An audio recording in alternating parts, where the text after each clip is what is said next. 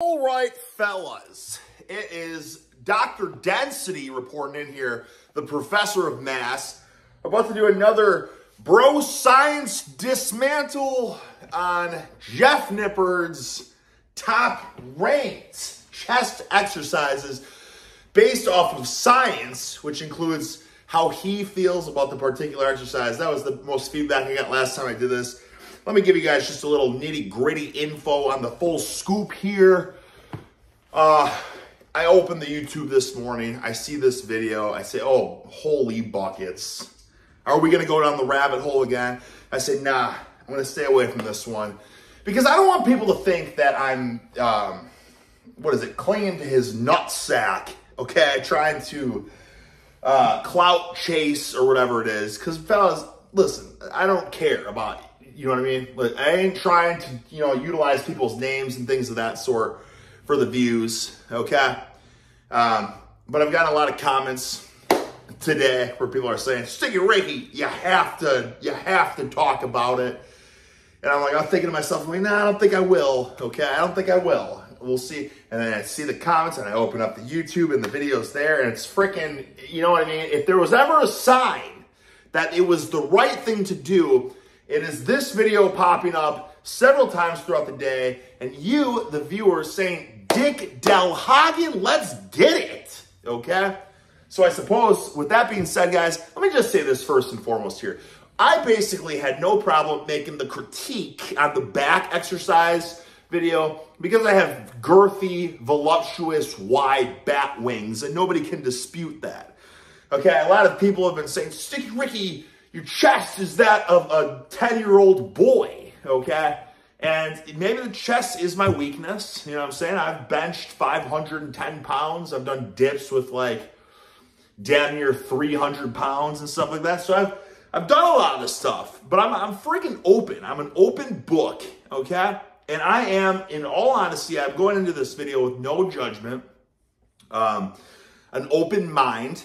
But with that being said, with comes an open mind will also come just a freaking open forum of discussion. And I will, before we even start the video, I probably, let me just say this, all right? Always watching um, the freaking training of all the horse cocks throughout the years and the decades, right? It seems like everyone does bench, so it must be a good exercise, right? I'm assuming he's not going to put it in the S tier, though. I can guarantee it won't be in the S tier, even though it's most certainly an S tier exercise. Um, same with dumbbell bench. So like all the pros, all everybody, bench presses, dumbbell bench presses, it seems they do, all the pros, bodybuilders and stuff, they do like the hammer strength exercises too. I'm assuming he's, well, actually, I don't know. I'm gonna have an open mind. Um, and then like Arnold, huge advocate on the dumbbell flies, which I'm assuming he's going to put in like the C tier probably. And uh, there's probably going to be some meme exercises he creates, like the half kneeling twisting cable rotation will probably be S tier. But at the end of the day, like I am going into this, like no judgments, no, I'm not, I don't know it all. You know what I mean? I'm just a brother, right? We're all just brothers trying to get massive engorged chests, okay? Um, but in terms of the optimal movements, guys, I think I made it crystal clear that I think that that in general is a load of horse crap. And I think it's doing what you are enthusiastic about. That's optimal for you. You know what I'm saying? One freaking trick doesn't stun everyone the same. You know what I'm saying? Some people get bamboozled by the freaking dumbbell press. Arnold got bamboozled by the flies, you know what I'm saying? Some people will do it and just snap their shit up or... So it's uh, different strokes for different folks, you know what I'm saying? So let's go into this and uh, let's let's see where let's see what happens. What are the best and worst chest exercises for muscle growth? Well, for a chest movement to rank highly, it needs to tick three boxes. One, a big stretch with high tension. If it doesn't offer high tension in a deep stretch, I'm putting yeah, it in of course. No we already know this. Two, last it one. needs to feel It's got to feel good, Jeff. It should have a smooth resistance profile. Giving a good pump and a nice mind-muscle connection would be... I don't know if I agree with that, though. Does it have to feel good? I think it, it a lot of the, a lot of the most effective exercises one would argue don't feel good. You know what I'm saying? Like freaking squats. Nobody is going to say squats don't make you a powerhouse, freak, stud, horse cock specimen. You know what I'm saying? Do those feel good? Well, over time, the better you get at them, they can feel better once you kind of get, you know, greasy with the movement, right? But especially when you're a beginner, they almost certainly don't feel good. A lot of people have the big puss pad on their back, on their spine. You know what I'm saying? The form feels really iffy, terrible on their back, terrible on their knees. Like, it doesn't feel good, right? Um, but it's a very effective exercise. You know what I mean? Same thing with bench. Like, I don't know what you're going to rank it, Jeff, but the bench is freaking S tier, brother. And a lot of people, obviously, you got to be the guru of cues, you know what I'm saying? The shoulder blades back, elbows tucked and all that, big chest, and use your lats when you press and all that. Um, some, the newbies will bench with like the flared elbows and yeah, but then someone argue, like Vince Gironda or whatever, the guillotine press, the ultimate chest developer. I can tell you right now, the guillotine press does not feel good. And it will certainly snap your shit up. But, you know, a lot of the people that argue that the freaking olden day bodybuilders and the olden day lifters were superior, I mean, that's what they were pushing back then, you know? Nice too. Three, it needs to have a simple progression. If you can't progressively overload by adding weight or reps, that's not good. And after ranking 20 of the most popular movements from S for super to F for fail, at the end, I'll crown one exercise as the best of the chest, raising it to best F of the chest. One is the most inept for F minus, Jesus. Your head. All right, let's get the worst out of the way. The hex press. I'm not a big fan of these. First, you never get. Yeah, that's stupid. That seems like a meme to me, honestly. Uh, you get to squeeze the chest, work the inner chesticles. I feel like in today's day and age, it seems like that's kind of just a meme in general. Like, oh, I'm going to target the freaking clavicular head versus, you know what I'm saying? Like, uh, pinpointing inner chest, outer chest, right? I don't think it really works that way, where you can't selectorize, freaking pinpoint where you want growth. You know what I mean? Like back in the day, it's like, well, put the slabs of clay on here. We gotta put more slabs of clay on the inner chest. I think the other day, it's just genetics. You either screwed or you freaking, you know, hit the big lotto big bucks, you know? I don't think this bullshit press is going to give you deep, engorged, striated, feathered pec pectoralis. And a big stretch in your pecs because your arms never stretch out. They stay tucked in the whole time. And they don't offer maximum tension because your triceps will take over. And he's using the freaking 20s. I mean, is he Canadian though? Are those 44s? Are those kilos or are those in pounds? Uh, I'm gonna say I'm gonna say those are in pounds. So regardless, I don't care what the four, you know, what I mean the stretch. I don't care what even the stretch, brother. The 20s ain't gonna do jack diddly. You know what I'm saying? There's no evidence that these target the inner pecs. In fact, I, that's like doing the opposite of like Athlean X. You know how Athlean X was demonstrating the deadlift with his fake weights? You know what I'm saying? Like, um, and then it's like, well, he's not he's not saying that that's what he can deadlift. He's just using the fake weights to show the form, but he's got such a huge ego that he has to show the form with way more weight than he can actually deadlift. But this is like, I don't know if this is like what he would really use. Would he really use the 20s? Or is he trying to be like, well, it's a technical execution video, so I'm not going to go heavy. Just show like an adequate, what, what would an adequate set look like to you, Jeff? What weight would you use?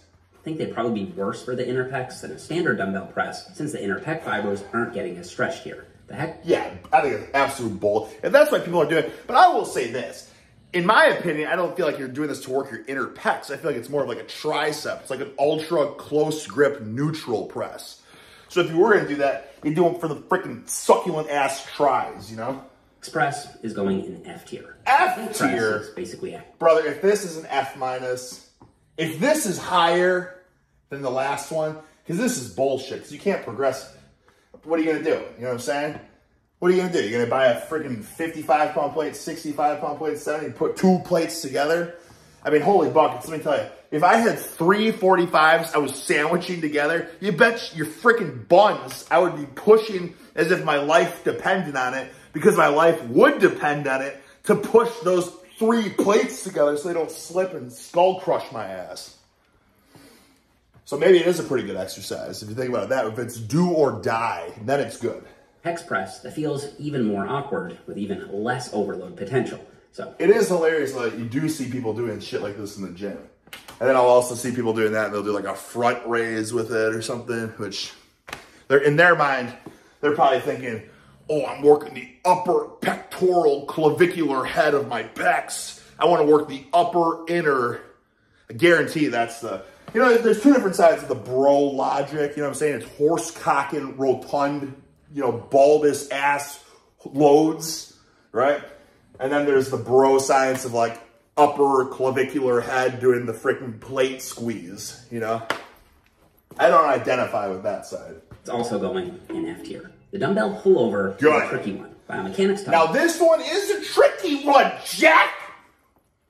Because Louis, big freaking Lou F, big freaking Louis F did these suckers. Arnold did these suckers. Every class, let's me tell you something real fast. The Arnold program, in every phase of the Arnold program, it is indeed the dumbbell pull over. Now, a lot of times I'm like, damn, but I want to do the cable pullovers. You know what I'm saying? Cable. But it's like, that's not the way the pros, the golden freaking iconic pros, they want you to do the dumbbells. So I'm genuinely intrigued. You tell me. that the pecs do help perform this movement alongside the lats and triceps. And when you look at the activation data, By the way, I sucked down six scoops of instant coffee before this, so it's starting to freaking kick in right now. If you're wondering why I'm starting to get elevated. The pecs do activate on pullovers. Problem is, I simply don't feel my pecs when I do this movement. What? But it's not about you, Jack! Okay? This guy is saying that the studies show that it does work the pecs, but he doesn't feel it. What are we, what kind of scientist are you, Jeff? Anyways, I don't care, but I'm just kind of flabbergasted. However, more or less every client I've ever worked with says the same. You know, let's I go back to this study. Let's go back to this study, shall we? electromyographic activity during barbell pullover and straight arm, freaking EMG activity, 30% of their body mass. Uh, Pecs do activate on pull. Okay, pullover. The frick is CPD? What does that stand for? Oh, frick. Where the hell is this study? I'm listen. I'm just trying to find. Oh, okay. Oh, okay. What the frick? I don't know. I look. I don't know. I'm not going to bother reading this on camera. I'm boring you guys to tears. Um, where's the frick? Moreover, all exercises showed significantly greater EMG activity in the concentric phase than the eccentric phase for the evaluated muscles. Oh, brother. Um, something though I will say interesting about the the EMG, the eccentric and the concentric and all that. I just had a um, I guess what you I guess you would say a pencil neck in the comments the other day. That they're like, but Eric, you want a horsecock weight? Say you horsecock weights for 12 reps. But Dr. Mike says, but if you did it a slow, controlled tempo, six reps, the time under tension would be the same. And I didn't bother responding because I don't care. I, I'm, I don't give a rat's patoot. I don't give a rat's patoot, okay? Um, but I was thinking to myself in my head, because it really does. It throws me an inner inner war with myself. Frank, this kid's an idiot. It's like, brother, your time under tension horse shit. Just because the time under tension, just because you're holding the bar in your hands the same, don't tell me that horse cocking something for 12 reps is the same as doing something like this for like six reps or something like that. Like, and this is the proof in the freaking pudding, okay? EMG activity significantly greater in the concentric phase versus the eccentric phase, okay? And which makes you're stronger. You're stronger in here. So when you're horsing the weight up, okay, you, it takes more freaking gusto. Do you know what I'm saying? Versus I could do a, like, oh my God. My thoughts are going a million miles per hour right now. I could do, I could do freaking um, 405. I could unrack 405 on the bench and I could control it. You know what I'm saying? Like one banana, two banana, three banana, four banana, five banana, six banana, seven banana, eight banana, nine banana, ten banana, eleven banana, twelve banana, thirteen banana, fourteen banana, fifteen banana, sixteen banana. You know what I mean? Say you get up to 20 bananas. Okay? What if I unwrapped it and I'm freaking pulsing the reps? How many bananas am I getting in there? It's gonna be hard because I'm gonna want to count the bananas with each rep. But say each rep takes like one banana, two banana, or be faster your horse cogging, so it's like one banana, two. So say each rep takes two bananas. I am getting 10 reps on 405. 10 reps on 405 ain't equal to a 20 second eccentric rep. Do you understand what I'm saying? So the argument that the time under tension is all that matters versus freaking horsing the weight versus like slow up, slow. You know what I'm saying? It ain't apples to apples. Don't ever tell me it's apples to apples.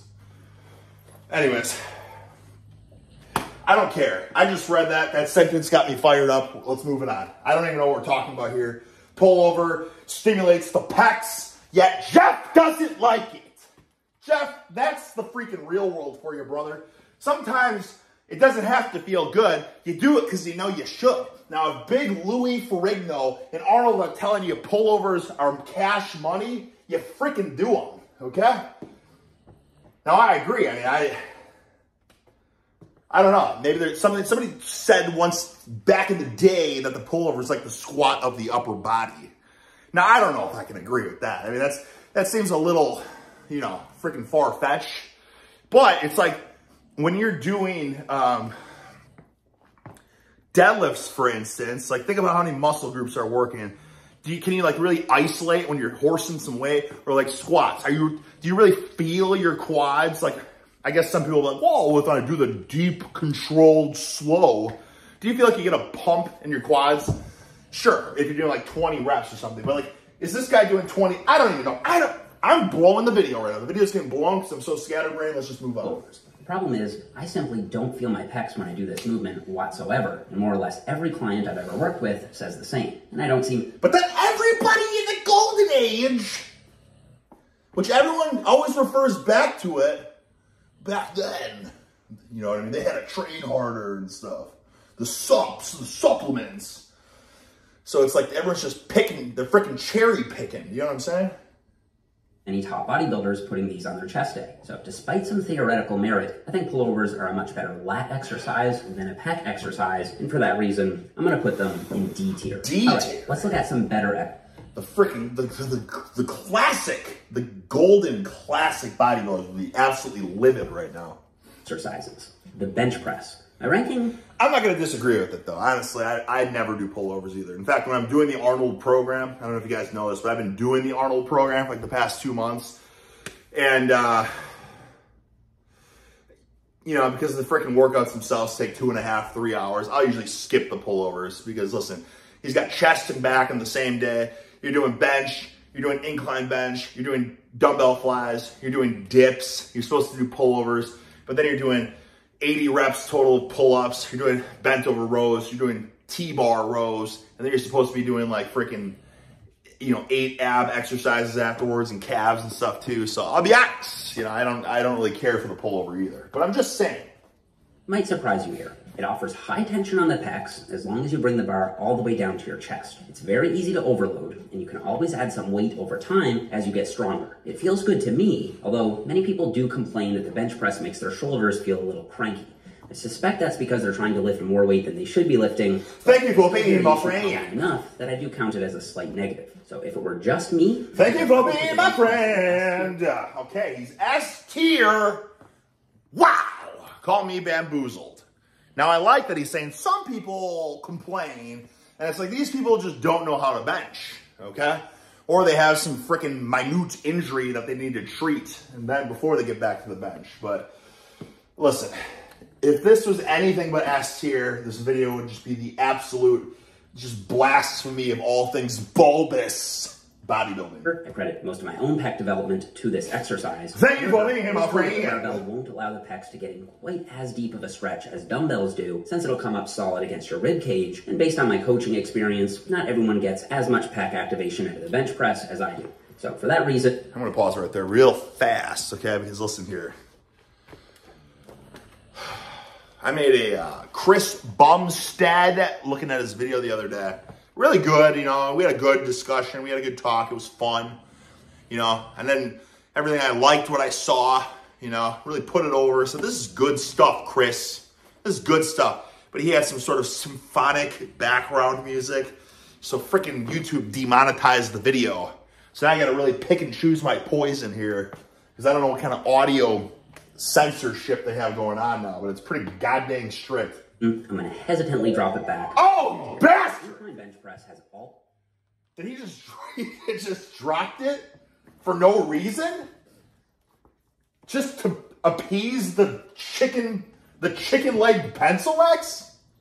the same upsides as the flat bench press, except it slightly emphasizes the upper pecs. Now, a lot of people think this means it isn't as good for the mid and lower pecs as the flat bench. However, a recent study found that the incline Thank you for being my friend. I don't even know what he's gonna say, but I will say this: that I feel like ten years ago I knew that the decline bench worked your upper pectorals just as much as like flat and stuff did too. Um, the reverse grip flat bench was like the ultimate upper pec developer. Um, and now he's probably going to say that this incline actually works like the other, you know, the bottom pecs or whatever more. I don't know. It's just like this whole bro science of declines the bottom pec, flats like the middle girth, uppers the freaking clavicular, and close grip sandwich press is the, you know what I mean? Like ultra, that's ultra bro science. Let's see what he says. Bench press caused the same lower and mid pec growth Wow! What did I say? Just told you. Just told you. So, you know, what does that say? It's just different strokes for different folks. What do I say all the time? Just find what you like to do and just do it. It doesn't matter what you do. It's the freaking gusto, the intensity, of the cojones you bring to it. And if you horsecock schnikes with a lot of energy and, you know, freaking intensity, like you're to get gains and growth. You know what I'm saying? Like you can try to do the most.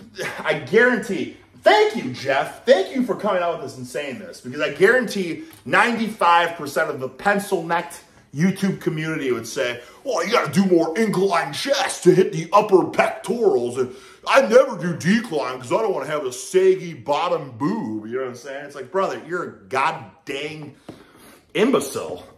Oh, yeah. I'm sorry. What are we doing here? Shit. Ah, shit. S tier, but I think I'm going to leave it in A tier as well.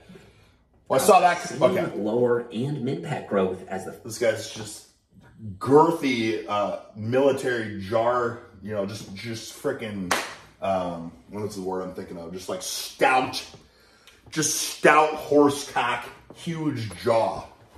It's a hell of a skeleton. flat bench did, plus better upper pec growth. So it's very close to S tier, but I think I'm going to leave it in A tier as well. Why, Jeff? Why? Why you drop down the most basic muscle builders? Well, what's the point of that? I would love, I am itching, fiending to know what the S tier exercises are here. Is it going to be the cable? It's going to be like the cable crossover with a squeeze or something? The decline bench press doesn't have any long-term research comparing pec growth like the incline. All right, this is kind of, listen, I will, I am of, uh, I really like the decline because it takes your shoulders out of it a lot. So you can seriously horsecock. And obviously, because like, if you think about it, the range of motion, like, because at the angle, the range of motion is slightly smaller. Um, but because of the angle, it feels so much, it's, if you have any sort of tweaks or anything, bad shoulders, like this is the freaking go-to. This is a money movement and everyone scoffs at it.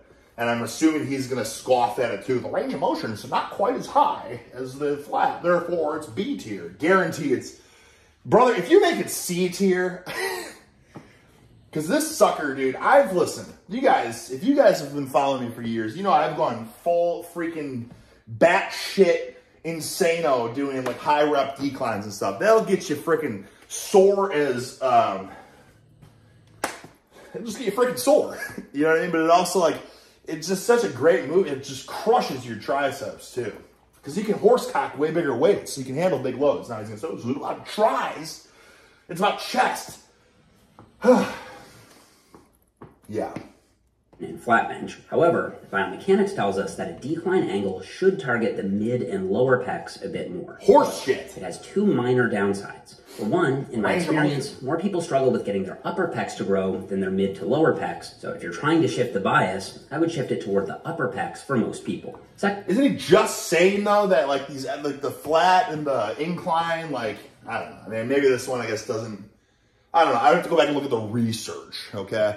But I'm pretty sure oh, I was gonna look at my phone, but I'm using my phone to record right now.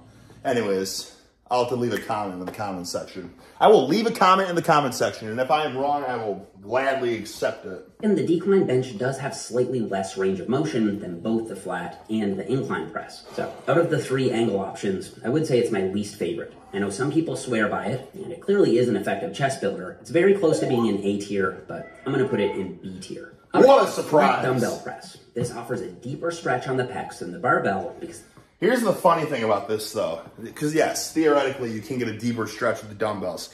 How many times, I'll raise my hand and say this, not once do I ever go to the gym and see people getting a deeper stretch with the dumbbells. Because for most part, people half, you know what I'm saying? Like, for whatever reason, people half rep the dumbbells, I think even more so than the barbells, or they're going till the rubber touches the chest or around so. So they're not getting the full range of motion either. I would I would argue, listen here, I know theoretically you can get a deeper range of motion with the dumbbells. I would argue though that most people doing dumbbell presses with obviously freaking dumbbells aren't getting as big of a range of motion. Just from what I see. the dumbbells can move freely past the When do you ever see people dumbbell press you like out like this? You know what I mean? I don't know. Jeff, I ain't, I'm an open book, brother. Just fill me up. rib cage. They feel great. You should get a great chest pump on these. And because people are less likely to let their ego take over on this exercise, it's less common for people to have shoulders. Less like, I mean, yeah, I guess they are less like. I've seen some great egos on dumbbell. I've, I have seen some egos on dumbbell benching though. But yeah, for the most part, probably people are going for broke on uh, barbell bench more than dumbbells. But brother, I mean, you want to see some. That's where the ultimate egos come out is on the dumbbell bench because you have. Then that's when you have the friends handing the dumb. You know, and be like, okay, I'm gonna hand you them the dumbbells. You know what I'm saying? Handing them. The, nope, and they gotta throw them down, and then the dumbbells are all crooked and bent. issues. As a beginner and intermediate, Oh, frick! Wait.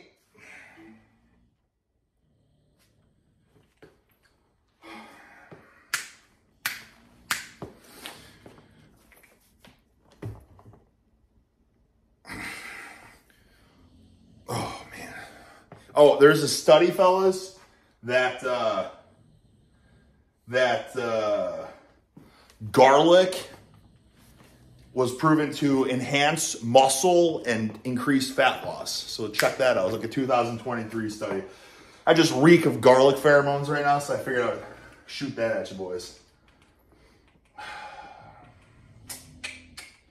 God dang it. This is freaking video. Continue watching. Thank you for being my friend.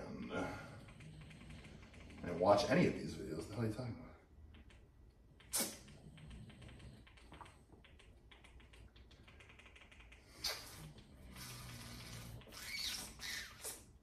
about? Nippard. There we go. Chest. what are the best Oh, give chest exercises What are you doing me? Press, pull over, bench press, incline bench, decline, flat dumbbell. There we go. Let's get Using the weight of the dumbbells. However, Oh, overloading issues Oh. in more advanced lift. wait. handle. So while the flat dumbbell press is just about an S tier, it's getting knocked down to A tier. Jesus Christ, overloading Jeff. issues. How is the dot like? I would love to know what an S tier exercise is. I mean, again, what did I say before this video started? I said, since the dawn of man, all the freaking pros have been uh, hitting what? You know, dumbbell bench, barbell bench, uh, flies, and like the hammer strength pro know, machines and stuff like that. But anyways, what is always the bread and butter go to? It's always the bench, you know. And sure enough, that somehow isn't S tier. Advanced lifters. The incline dumbbell press is also going in A tier, since it's the same basic movement with the same upsides and downside, except again, it has slightly more emphasis on the upper pecs. And I'm putting the decline dumbbell press in B tier, since I do find it awkward to set up. You'll probably need someone to hand you the dumbbells, and again, look. I do agree with that, but theoretically though, if you did have someone to hand you the dumbbells, you could get a bigger stretch. So that's on you, Jeff. But I will agree that it's it would be hard for someone to. Well, you'd have to have some serious like. Yeah, it would be hard. It would be hard. I can't argue with that. But if you could, imagine the good stretch you could get. Also, with these movements, you can always use the bench bar. You know what I mean? The cambered bench bar, which allows you to get deeper. So really turn in the freaking all these movements that theoretically should make them S tier. Now, maybe that is exactly where he, he's going. Pecs rarely need any extra emphasis. Okay, the machine chest press. A good chest press machine will give it. Brother, if these get S tier though, I'm just like, uh, these are not. These are not as good as dumbbells and barbells. I promise you nice deep stretch on the pecs and provide high tension throughout the range of motion. Don't Unlike do it, Jeff. dumbbells. Don't do it, Jeff. Don't give this S tier. Come on. Connection with your pecs and give a massive pump. Machines are very easy to. It's sounding. Oh, it's massive, massive, awesome, massive. Oh no, it's sounding like it's S tier. Some weight or a rep. It sounded like an S tier. The advantage of being a little safer to push to failure. Oh. Assuming you have a good chest press machine. Don't do it, Jeff. I really can't think of a downside from a muscle building standpoint. And so the machine chest oh, is our first exercise. God. Getting to S tier. All right, dips. Let's see. Massive stretch oh on the pecs. Possibly the. Let me also just say, I did not watch this video. I just I can see this shit coming from a mile away. Best comp. All right, what are we thinking about dips, fellas? Huge stretch, but he's gonna say it doesn't feel good to him or something. But I don't know. But he he, he goes off with him. Maybe it does feel good to him. He's gonna say it's hard to progress, probably probably going to say injury to shoulders or something. I'm, I'm going to say this is probably A tier, I would say. But I think this is a freaking absolute super exercise as well. I tell people all the time, man. Like, listen, you want to get jack stack, succulent, dense, hardened, and large? You got to be freaking barbell bench or dumbbell bench or weighted dips. You know what I mean? Like, really, just, you know, the absolute bread and butter. Pound exercise I'm aware of for getting into a deep pec stretch. They offer high tension, and there's many ways to apply progressive overload. You can do assisted dips and reduce the assistance weight over time, or you can do body weight dips and add reps, or you can slow down the negative a bit more from week to week.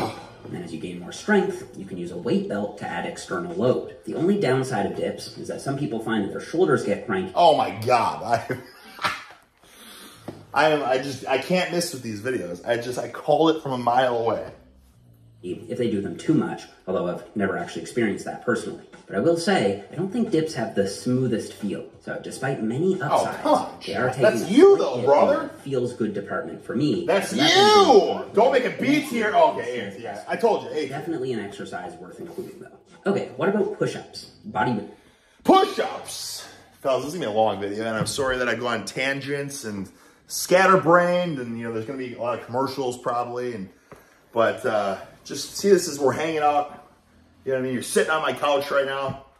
I'm teaching you a thing or two about horse cockery. You know what I mean? We're just having a good time. I sucked down six scoops of instant coffee.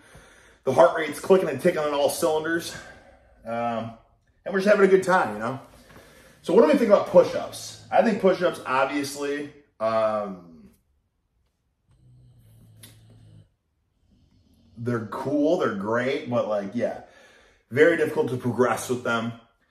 Uh, if you could progress with them, they would be an obvious no-brainer S tier, but you can't put, it's too hard to load them up. And are going to say, oh, do them in the pitch shock or put a weight belt on you. And, you know, it's like, that sounds like a lot of steps, okay? Where I could just load up a barbell, horse cock it, everyone's jaws drop to the floor as they go out at the cock of the walk. You know what I'm saying? Whereas you have to push up and you have to have people put plates on your back and the plates are sliding off left or right or, you know what I'm saying? Uh, push-ups, though, I will say this. Absolute best movement there is for when you're out and you have to get a quick pump, then what do you do? You just bang out the push-ups. Like that's, you know, I can't tell you how many push-ups I've done. Like when I was, uh, you know, just like through all the years of wrestling and stuff like that, and just to get warmed up or maybe get a little juicy pump going, you just bang out like, and it's like, man, especially when you have a time limit. So you got to be somewhere or whatever, you got to freaking whatever it is, you got to be somewhere. You got to do something. You got to be somewhere in, in three minutes, and you know you want to get a pump. So what do you do? You know the adrenaline's kicking in, the freaking mindset's ticking. I like I have to hit this, and it's like yeah, I don't want to stop. I gotta get, I gotta achieve that pump, and you hit like you know, just an insane amount of reps. And it's just the next day you're like, God damn, I'm sore. Why am I sore? It's like, oh yeah, I did a set of a 100 push-ups. You know what I mean?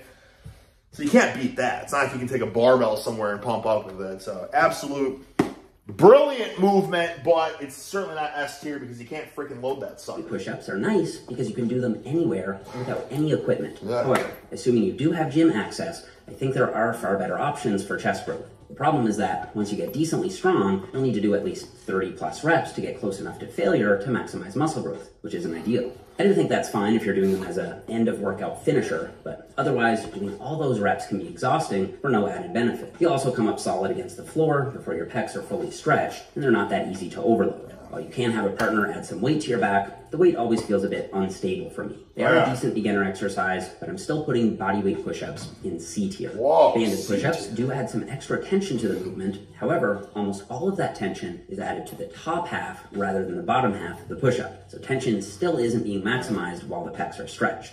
I still think they're a decent finisher though, so I'll put them in B tier. Deficit push-ups fix the problem of not getting a deep stretch on the pecs, and even though they're still a bit tricky to overload, you can make the exercise more challenging by pausing for two to three seconds in the bottom. I think that if you're gonna do push-ups, this is how you should do them. Deficit push-ups are going in A tier. I used to do a lot of plyometric push-ups in my early powerlifting oh, days Oh, to yeah. build up explosive chest power for the bench press, but I've fallen out of love with them since. They're just not great for maximizing tension on the negative or in the stretch, and even though there is some research supporting more explosive training, I'd rather use an explosive temp Tension on the negative.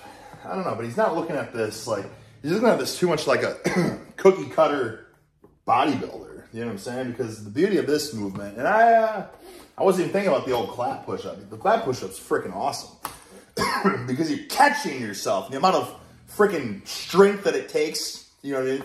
The uh, the damage. You know what I mean? Think about like squat jumps and all that. Right? It's not so much even just exploding, but it's the catching, that shock force, that shock trauma. So it's like, if anything, it just really boosts the intensity of the exercise, right? Because of course you have to explode through it, like more motor unit recruitment. Then you have to catch it, which uh, is just very much more traumatic on the muscles, which is obviously what we want. So yeah, I think the freaking don't you be talking shit about the claps. On a weight loaded exercise like the bench press if bodybuilding is the goal. I'm gonna put these in D tier. D? Why is that a D tier? Plus, you can do this anywhere. This you need what six freaking or four plates? You know what I'm saying? Like I, damn Jeff, I couldn't disagree anymore, man. This I couldn't care less, or I couldn't care less about that. But this is just disgusting. That's a that's a great, especially that's a great warm up when you're gonna for some serious horse cockery. Just get the CNS fired up, explode. You know what I mean? Explode, right? Then when you get on the bar, you fucking explode the bar. That's a that's a great, bro. I would, I don't care about that, but at least put all these C tier. This is not A tier. I would, you know, I wasn't gonna say anything, but now I'm pissed. That is certainly not A tier. That's a stupid exercise. That's stupid. chest builder. Speaking of less conventional exercises, the guillotine press is Oh, basically yeah. a normal flat bench press, except you shrug your shoulders up, flare your elbows out, and lower the barbell down to your neck. A lot of people kick up a big fuss about this exercise causing shoulder issues, but there's no direct evidence or even strong rationale to support that. You can look Bro, that shit is gonna snap you up 100%. Okay? Clearly, you haven't done it enough. I remember the first time I did it, I was like, oh man, I really feel it a lot in my chest. And it's like, once you get to like, keep in mind, this is like, I was benching like 405 at the time. Once you get to 185, it's like, oh, I'm certainly gonna tear something. 100%. listen to Dr. Mike if you don't believe me. Some people will bench press guillotine style, where they take a higher position on the chest and they let their elbows come. But that's not guillotine style. The whole point of a freaking guillotine is the guillotine cuts your head off. Right, now let's get on the same page here. Is it guillotine or guillotine? It's French. French freaking head chop. You know what I'm saying? So above your nipples is not a guillotine press. That's just dumb bar path, right? Go in your neck. I think that's the freaking way that, you know, Vince Gironda or whatever was the one that, you know, coined that sucker. They feel a huge stretch in the pecs. Their shoulders feel amazing. No, Jeff, why are you showing this video? This doesn't even talk about the guillotine. Just because he said like a, it's not a guillotine press. Going to your neck is a guillotine press. Problem. Correct answer. This is a Other fucking folks- guillotine. A little bit below. What does a guillotine do? Cuts your head off. They will tuck their elbows on the way down. If that is what hits your pecs the most, Thank you for being my friend. Nice and comfy and safe. Beautiful, right answer. What I don't want you guys to get caught up in is people on the internet who say this is bad because biomechanics. I don't know why the fuck they say that because if you go out here, notice my pecs are getting more stretched as I pull. Yeah, but you're not going to horse cock the. You're going to be way more susceptible to injury if you're trying to actually push weight. Now, if you're lifting like a little puss, then yeah, then you probably can do that. If you have 95 pounds on the bar, you can probably press like this, and oh, I feel it in my chest. You don't do that because you're, you know what I mean. Like the whole point you do this is for maximum horsepower to get your lats engaged in the press and stuff. So listen, this is two different worlds, brother. You know what I mean? Crossing the line with saying that you should press like that, in my opinion. Because listen, yes, this video is for people with want big bulbous pectorals. I get that. But the most common question in the gym is how much do you bench? And people aren't just, for the most part, everyone benching is going to try to horse cock big bench presses. So when you're saying it's totally fine to press like this, when they're going in there with a big, huge, freaking, you know, bulbous ego, they're definitely going to hurt their shoulder at some point, without a doubt, right? And then, and they're just being weak. You don't get super strong benching like that. You know what I mean? It's like once you learn to like, you know, freaking use your lats and boom, boom. You know what I'm saying? Said, I do believe that for some people, especially those Anyways. with pre-existing Yeah. All right, well, moving on. shoulder issues, flaring the elbows. Thank you for being my friend. Just wouldn't bother with these. However, guillotine presses will stretch the pecs better than any of the other barbell presses we've discussed, and it also has a cool history in lift. Who cares about the fucking history? Jesus. Anyways, I would do that as a warm up. Um, I'm not even saying that you shouldn't. That's exactly what I do. I always warm up with an empty bar, right? And then you go to like even 95 pounds. So put a 25 on, then put a 45 on, then a 45 and a 25, and then two 45s, and then two 45s and a 25. You know what I mean? Very slow, progressive warm ups. And when you warm up, you know, you hang out, you let it stretch out, you press it a few times, right? You change the bar path, you know, just get everything just feeling loose as a goose, right? But certainly don't try to horse cock weights with a fucking guillotine press. Come on. culture. I am a fan, and I would put it in A tier. However, because it's potentially very dangerous, dropping the bar Brother, I was gonna say, if you put that higher than just a classic bench press, I don't even know. We just totally lost the plot on what lifting even is. on your neck would be lights out. I'm gonna go ahead and put it in F tier. What? he said he was gonna put it in the what did he say A tier or something, but instead he put it in F tier. Wow. So because some what did he say? Let me. I don't watch this. Don't think the potential. I am a fan, and I would put it in A tier. I am a fan, but and I would put it in A tier. However, because it's potentially very dangerous, dropping the bar on your neck would be lights out. Dropping the bar on your neck. Okay, well, first and foremost, don't have a dead fish loose as a goose grip. Actually has some grip strength, which is why I recommend that when you're doing like body weight pull-ups and stuff, don't use the freaking straps. Develop your grip strength. It's only going to improve the strength in every other facet of lifting. And uh, always use the safeties. You know what I'm saying? You should never you can't downgrade something because of some theory that some theoretical theoretically I could drop this on my neck and kill myself. You could do that with any bench press. With, why is the bench press A tier? Because you could also press it, and when you go to rack it, it could slip out of your hands too and, and kill you as well. That's the that's the dumbest thing I've ever heard. I would give it A tier, but because of that, so use safeties, okay? That's like the moral of it. It's like if you're ever lifting heavy, I know like some most gyms like the bench presses don't have the safeties. which I just, I think is stupid. I think they got to change that because you've already seen enough clips online where people are horse cocking a big bench and it slips out and like, you know what I mean? Crushes their chest. So you see it online. It means it's happening more than you see it online, obviously. Those are just the ones that people caught on camera. Probably because it's like, oh, this is big, this guy's to absolutely horse this weight. Let's film it. And then he drops it. But that means that, you know, 10 times the amount of people are dropping it not on camera, at least. Um, does that mean you shouldn't do the bench? No, but you got to have, you know, safety. Like, first and foremost, have some grip strength. You know what I mean? Don't use a bent bar, right? Don't use a bent bar. Always make sure your bar is straight, right? Doesn't like have a weird roll because it's bent from some horse cock bending it. Um, yeah, just have some safeties in place. And then you can go as heavy as you want. You can do whatever you want. Yeah, anyways. Oh, I'm going to go ahead and put it in F tier. I just don't think the potential hazard. Imagine that though. Imagine like a teacher grading a paper. It's like I was going to give it an A. It was pretty good. I really liked it. I was going to give it an A, but because of this one thing, I give it an F is worth any potential marginal gains you'll get from it. That said, if you modify the exercise to do the same basic movement with dumbbells, it suddenly becomes much safer. And in that case, I am going to put these in A tier. Again, these may fall in D tier or F tier for those of you who get shoulder pain from it, but in my experience, the majority of lifters can flare their elbows without issue. Just start light and build up your tolerance. To round out the dumbbell press variations, I guess I'll cover the one arm dumbbell press. I still see this quite a bit at the gym, but doing one arm at a time has no advantage because each pec has to work individually in a dumbbell press anyway. So doing them. Well, let me say this real fast. I don't know. I'm not acting to be like some science guru. I'm not a know-it-all. Again, I'm just giving my opinion. Don't crucify me. But when you do the single arm stuff, it's like you have a better like neural drive in my understanding. You know what I mean? That's why you can do like, you can one arm row more than you can do a two arm row. And people say, oh, but your back's not involved as much, or you can post or whatever. Okay, well still, you can probably like curl, one arm curl more than you can like two. You know what I'm saying? Like it's just being able to isolate like one limb. I feel like you can get a better like signal, uh, just a bit more strength. And because of this, you can kind of like, I don't know, you can kind of change your body position up a little, a little bit. So I do personally think you can horse cock a little bit more weight on the one arm than you could doing two. I'm not saying I hardly ever do one arm, but in my experience, I could bench more weight.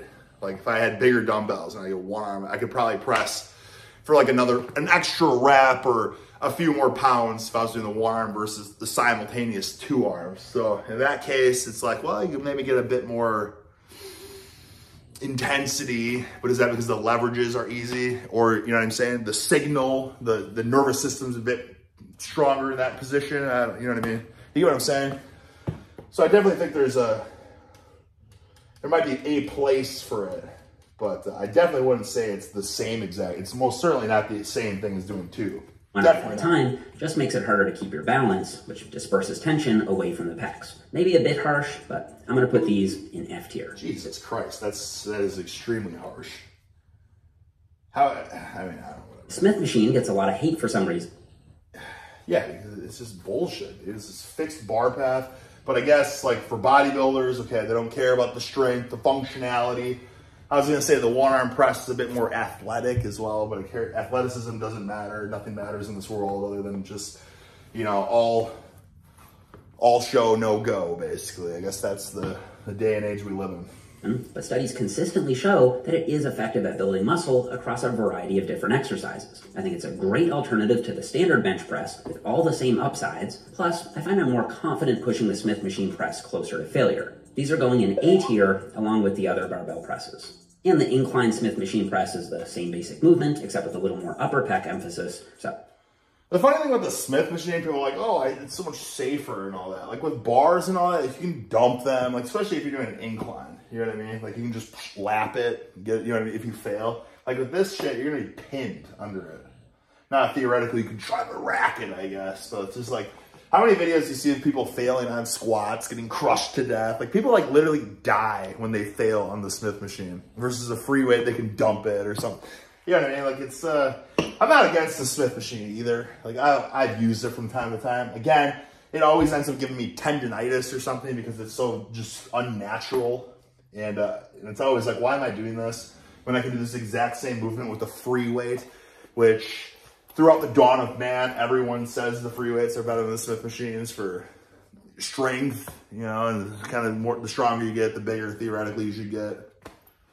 They're also going in A tier. Okay, so far we've been discussing only compound chest exercises. Presses, dips, and push-up variations that'll smash the pecs, but also target the front delts and triceps. Sometimes you want to isolate the pecs, and for that, we've got a bunch of pec fly variations. There's cable crossovers, Here we seated go cable now. pec flies, the pec deck Here come the S tier flies. exercises. Let's start with cable crossovers. These do provide a big stretch on the pecs with nice I will say, if any of these get ranked higher than the bench, it's like, what the fuck are we doing? Because I think everyone will agree that like benching is the best, the best like pure size builder, and this stuff. Everyone for the dawn of man has been saying that this is like just the icing on the cake movements. You know what I mean? Like the accessories. Nobody looks at these as the prime movements. Smooth and even tension throughout the range of motion. And I'm not against me, and usually give me a solid chest. I'll, uh, sometimes I'll finish with, progressive overload, cable pressing crossovers or- simply because you can't go as heavy, but you can still add a rep here and there and focus on technique, so that's not a deal breaker. The only downside to these is that by doing them standing, you may find that the cable pulls your body back, especially as you get stronger, which can make it less stable. You can correct for this by bending forward and flying downward, so while it's close to being perfect, it's not the most stable fly variation, and for that reason, I'm putting it in A tier. The seated pec fly has all the same upsides as the cable crossover, but by sitting down, you get rid of the balancing component and increase the stability of the exercise, which will make sure that all the tension coming from the cables is being applied directly to the pecs. This is my favorite chest isolation movement at the moment, and so I'm going to make it my second addition to S tier. I, I did I not tell you this was going to happen at the beginning? His S tier is a fucking machine press and then a seated cable fly. Which again, I'm not even against. I'm just saying. You have all these classics: dumbbell bench, barbell incline bench. You know what I mean? Like even the push-ups and stuff. Everything's just like. Then you have the, you know, I don't know. What do I know? This video probably has seven trillion views in three hours, so clearly he's doing better than me. The pec deck machine shares many of the same benefits as you're also seated, so it's nice and stable, and you'll be able to get You know what's funny about this though? I've uh, very rarely do I ever get like injured, other than my knees exploding a couple times in my life. But like in terms of shoulders and pecs and buys, and I don't really ever get injured. Um, I've snapped my shoulder up twice on this machine. So the fact that he's like, oh, I'm like this is because theoretically you could get injured. It's like, dude, you can get injured doing any of this stuff. And in fact, this this fixed machine that you do, like that, this is like public enemy number one for me. Yeah, but I bet this will be like S tier too. big stretch on your pecs. Because he doesn't get hurt. That's all that good as the cables do. The machine locks you into a very specific movement path, whereas the cables allow your shoulder to move a bit more oh, freely. Oh, okay, so this means you may not be able to find that perfect line of pull for your pec specifically. This is a pretty subjective one, but I'm going to put the pec deck machine in A tier. All right, the dumbbell fly. Now, a couple years ago, I will say this. I don't know. He's probably gonna give this a very low score. I will say this. Um, also, do you guys ever find it funny that like now the lengthened partials are such a hot thing? When even just I would say a year ago, like I, the amount of comments I've gotten from people saying like, so for instance on like the pull-ups, it's like you're not even doing the most beneficial part, the squeeze at the top. Is eagle lifting. You're not even. You got to squeeze at the top. That's the most hypertrophic motion of the movement. You know what I mean? And now it's like, oh, weighted part, long length partials. Well, anyways, I will say this: um, the dumbbell fly. I never really gave it a go because for the longest time, I probably because I probably tried them a lot when I was a kid because I did the Arnold program as a kid, and there was always flies in there, and uh, yeah, dumbbell fly. You know the real way you're supposed to do flies. And I was always like, well, I don't really feel anything in my chest up here. You know what I mean? But it's like the big stretch, the big range of motion. If you just go, I've gone up to the 105s already and just pulsing it here. And every time ever I do the dumbbell flies, I get more sore than anything else. Okay. So just here, and it feels totally safe too. All right. As long as you like know how to like kind of get your back engaged and everything, kind of just like bench pressing. If you were like loosey goosey and then you know, flying with that form, you probably would hurt your shoulders. But if you like, when you set the dumbbells up and kind of like back your shoulders back, get your lats engaged, and then go down and stretch and just go to like here, don't come up because I feel like if you go all the way up, you kind of lose that back tightness. So it's just like here. I'm always like so sore the next day. And I went from, I would, back even a year ago, that was total F tier exercise. I never do this. Uh, and now I think this is an absolute, between, I, I think dumbbell flies are one of the freaking best now. Gets you sore every time. And you can manhandle some pretty big weights if you get comfortable with it. Kind of know how to engage your back. So, in my opinion, obviously the bench variations, weighted dips, dumbbell flies, you're freaking money. That's it, you know? I probably would have put this one in C tier because ah. you get literally zero tension at the top of the range of motion. Who cares about the top of the range? You are the freaking, you are the one saying the stretch is the most important part. Right? Who cares about the top? Who cares? These are all tools, fellas. I mean, if you really care about the squeeze at the top, you could do these suckers, you could go heavy, you can stretch those suckers up, then you go your stupid ass cables, so you could squeeze. You could squeeze, you know what I'm saying? It's like it's like baking a cake. You know what I mean? Pick the ingredients that make the most delicious cake. Each ingredient doesn't have to be the you know the most delicious ingredient in the world. Salt is not delicious on its own, but when you combine it with the other ingredients, it's like, God damn, that's good. You know what I mean?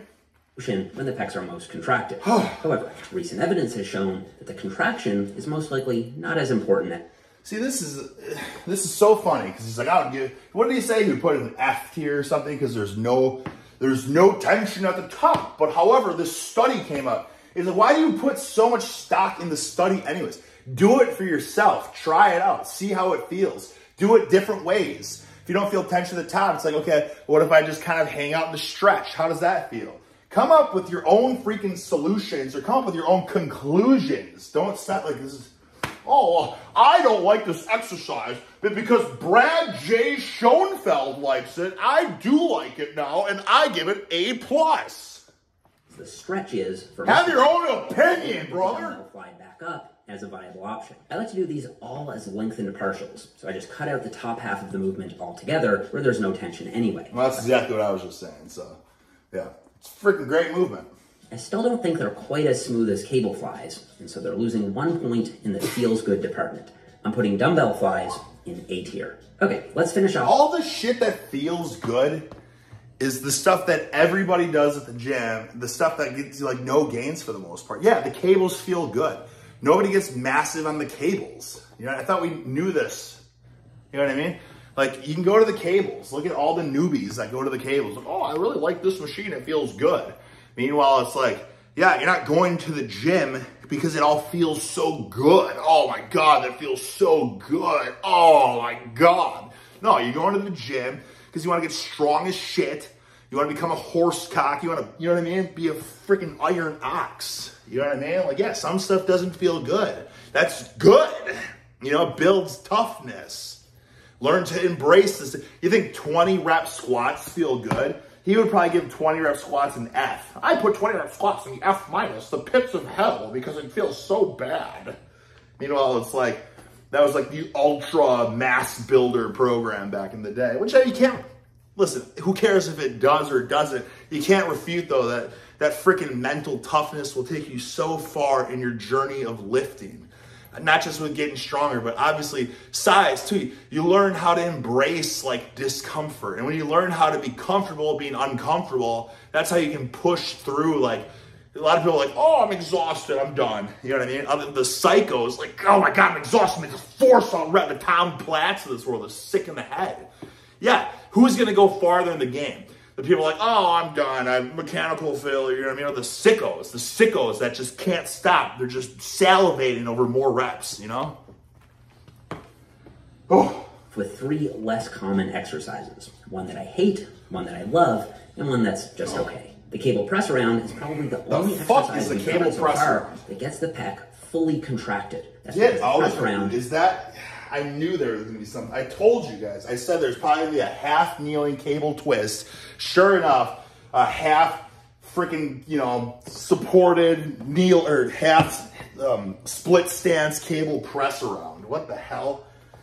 Dude, is this a, is this, is this a scheme to sell programs? I bet you, these, all these exercises you do, they get C tier, but some of these that you haven't heard of are actually S tier. Find out more in my program. Is a rare exercise where you press the cable across your midline.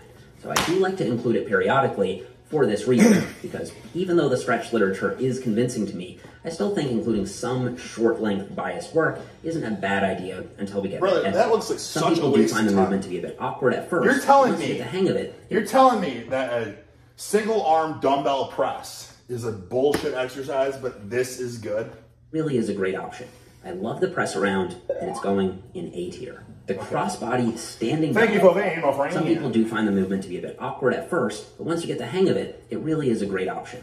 I Thank you for being my friend. Oh.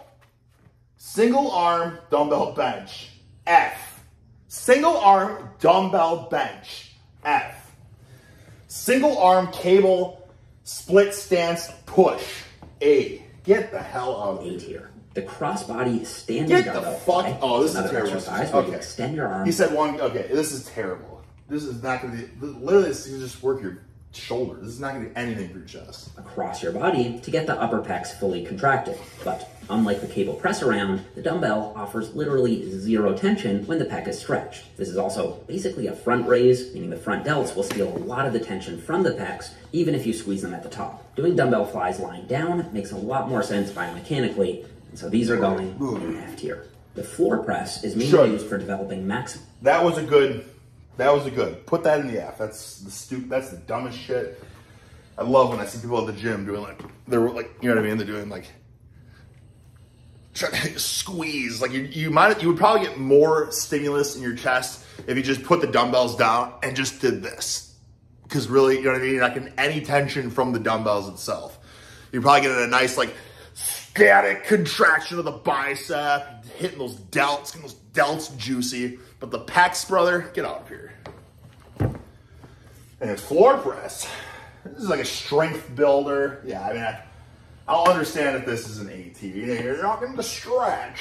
Although you still can horse some serious weight. It's probably more weight than you can on the split stance half kneeling cable push that he gave A tier. on bench press strength, and it's an exercise that I include in a lot of my strength and power building programs, as I think it's great for smashing the triceps and improving lockout strength. That said, the limited range of motion makes it a less than ideal candidate for chest hypertrophy, as you never get the pecs fully stretched. So even though I do love it for strength, it's just okay for pec growth, and I'm gonna leave it in C tier. Now, if I had to crown just one exercise as the best of the best, I'd probably go with a machine chest press.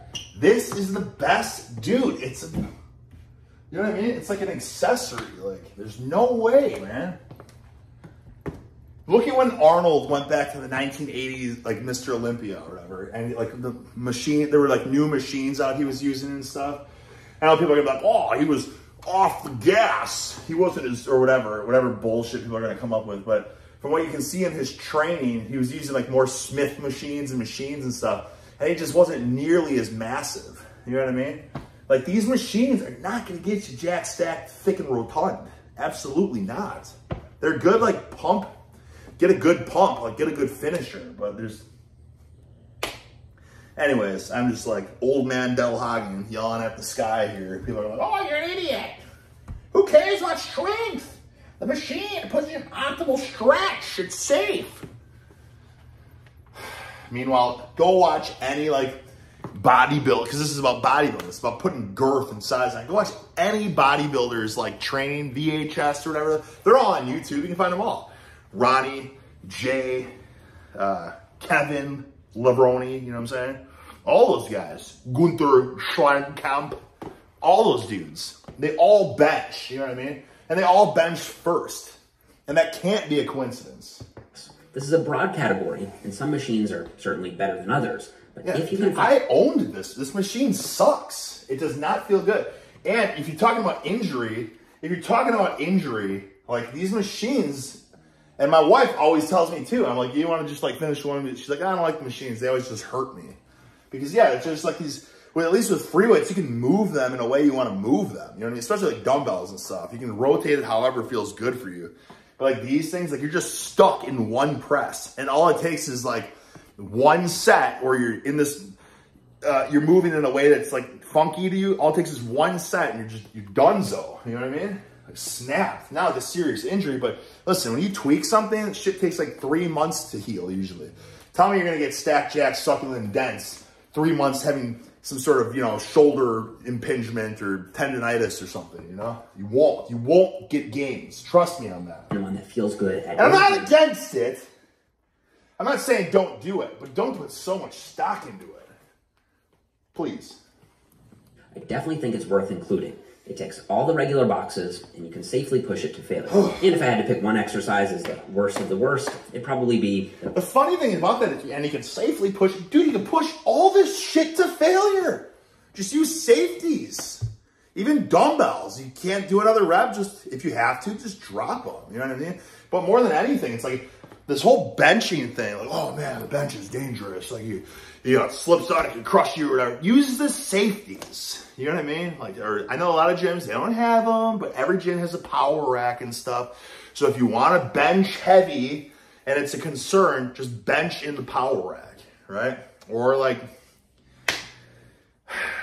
um, I would you don't you don't have to have a spotter. I get it. I don't I don't like having a spotter either. I would never say that, but there's ways you can do it where you can fail. You know what I mean? Like I've seen plenty of videos where people where they fail and they just like sit up. You know what I mean? It's not that unless you drop it on your neck.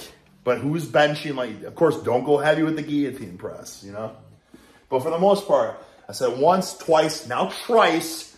Use the freaking safeties. It's that simple. You can push anything to failure then.